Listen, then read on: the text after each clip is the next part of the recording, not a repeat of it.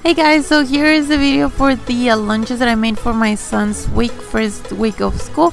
I hope you like them and I'll let you check them out.